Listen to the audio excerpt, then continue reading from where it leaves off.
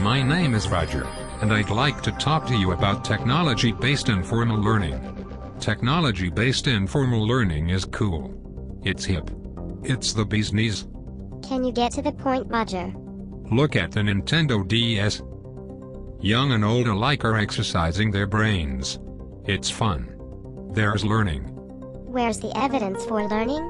Look at texting, email, blogging, Twitter, Facebook, internet chat and web forums.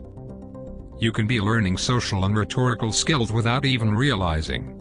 Learning bullying, LOL and STFU. Hmm. Kids are sharing knowledge. That's got to be good. Roger.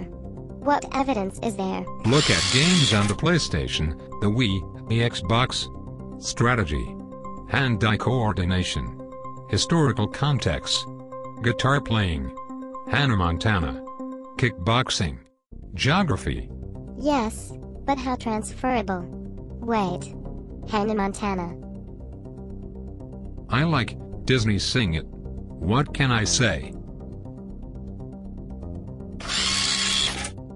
But look at the peer learning. No teachers. No classroom. No dull curriculum. Fun fun fun.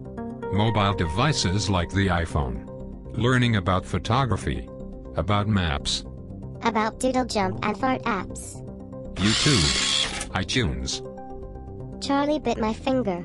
Miley Cyrus. Second Life. Porn. People are remixing content and producing fabulous new works of creativity. When they're not ripping off composers and writers. It's constructivism. Social constructivism. Distributed learning. Situated learning. Roger, what's the research evidence of critical reflection? Look at the success of Wikipedia. And all the self-help websites for patients, home improvements, car maintenance. You name it and there's a website or an app for it. And what do we know of the development of metacognitive skills through these websites? Learning how to learn. Learning through peripheral participation. Tacit knowledge. Are you just spouting buzzwords?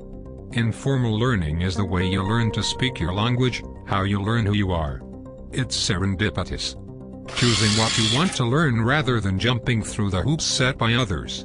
Too much schooling kills off a desire to learn. You got these slogans from doing a Google search, didn't you? You see. Proof? I've learned informally using technology. Well thanks for listening. And remember, technology-based informal learning is cool. Thank you.